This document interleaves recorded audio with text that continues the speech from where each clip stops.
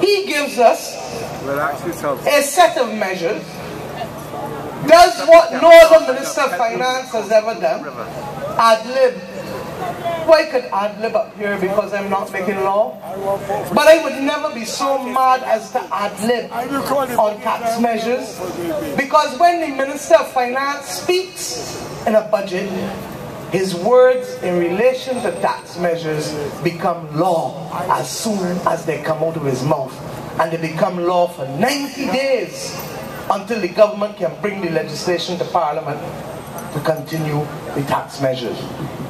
But this man brings a set of hodgepodge lucky dip measures that are not grounded in taking Barbados somewhere, but they are grounded in making an arithmetical sum add up.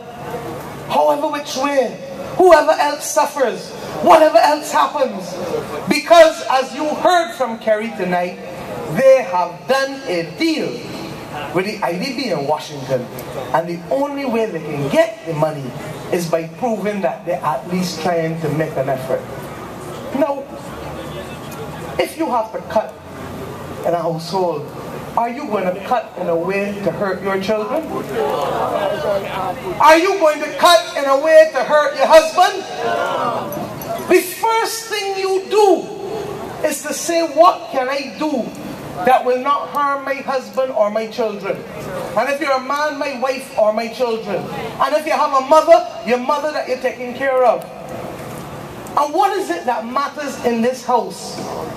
Because that man is not going to go out there and thief if thieving is against his morals. So what he wants to do is to protect the values that he and his family believe in while at the same time making the adjustments. And the Barbados Labour Party is clear, my friends. We are in a serious situation. And we know that there has to be adjustment. We're not fooling anybody. We told the country that before last election. It was the Dems who told you that all was stable. We told the country we knew that serious and difficult decisions had to be made. Sinclair admits that there is no confidence in the Barbados economy. Now, when a man tells you that the very economy that he is in charge of, the very economy that he is responsible for making work, not last year, but since 2010, that is what you call a confession from the dock. It is a confession from the dock that all that he has been doing has added up to naught, has failed. And I'm saying to you that in other countries, he would have had to resign. But let us move on. And, and I trust and pray that Freundel will realize that there is no economic solution to a loss of confidence.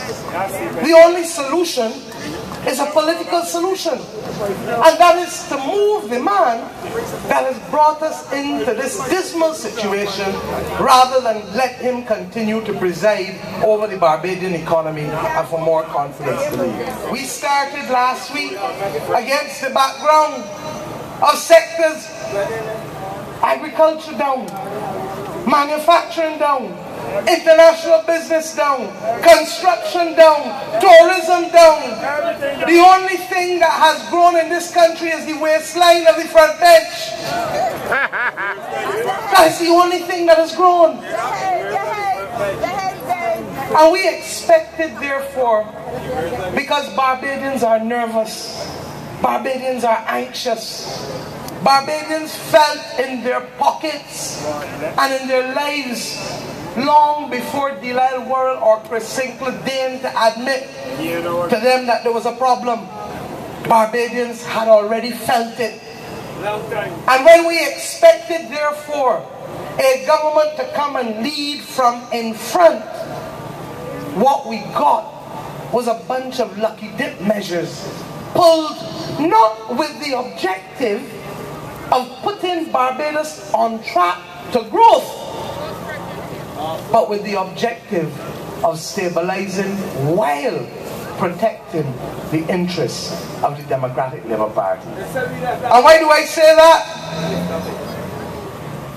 From 2008, we told David Thompson, you cannot tax an economy back to growth. 208, 209, 210, 11, 12. And 13. We told them that this economy needed to grow, that you needed to put oxygen back in the economy. You needed to put money in people's pockets to get spending going again. Because we know how Bajans behave. Bye. If you have a capital program and people working on construction sites, they go and they take their money. And on a Friday evening, oh, yes. they hold a little drink. They might not drink as much as before, and then they hold some money for the children's mother. And the money spends from the shop to the supermarket to all about. But this government insisted not on developing and spending money to build capacity entities that would hire people in the future like we did with the seaport and the airport and schools and all of that. This government insisted on spending money that you couldn't get back dead money.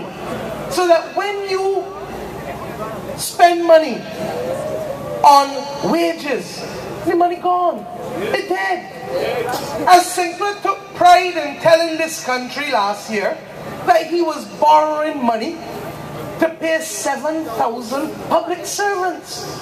Now, how much ever you want to employ people, it's not sustainable. It's not.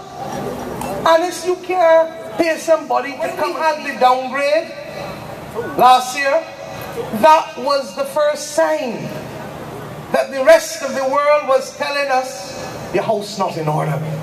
Fix it. Your house is not in order.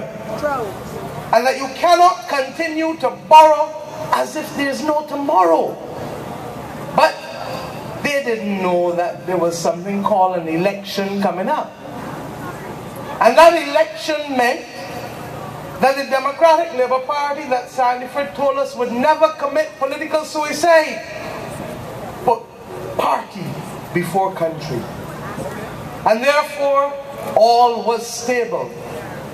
All was stable until the first inklings of truth emerged in April of this year when the governor of the central bank told us that the medium-term strategy needed to be put back on track.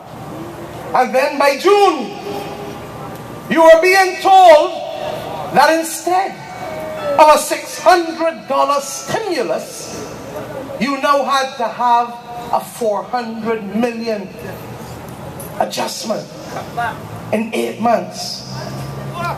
No longer 600 million stimulus. And that the deficit was too big. You know, I almost asked Chris on Tuesday, in the words of Cooper Dam, but you know I can't sing. I would have had to ask him, I got a question for you. I got a question for you. How your deficit gets abroad.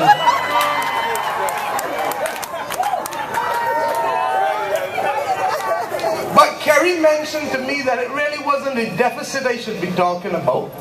It was the stimulus. And I said to Kerrie, but then I would have to ask how your stimulus gets so small. but the point I'm making is this. That for the first time in June, we now knew we had to make a 400 million adjustment in eight months and that no sector in this country was performing. Tourism, the worst it has ever been. It's true. The only country that did worse in tourism last year than Barbados was a country where two-thirds of the population had to be evacuated. Montserrat. And then this year, as if last year was not bad enough, down to the end of July, Tourism down 7%. And as if that wasn't bad enough, at the height of crop over, when people coming home to shake a whiz,